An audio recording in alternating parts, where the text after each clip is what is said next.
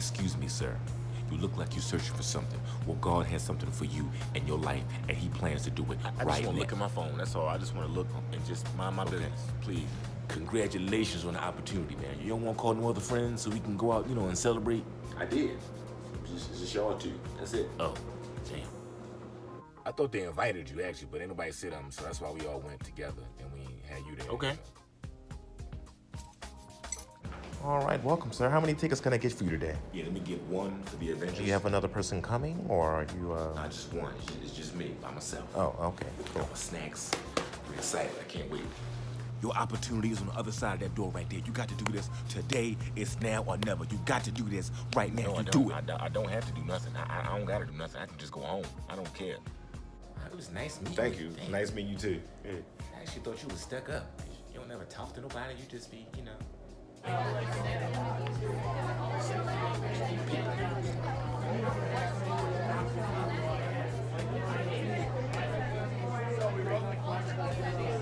What's that, man? I'm gonna get on out, man. I'm gonna head on out. here. What are you doing? You gonna leave?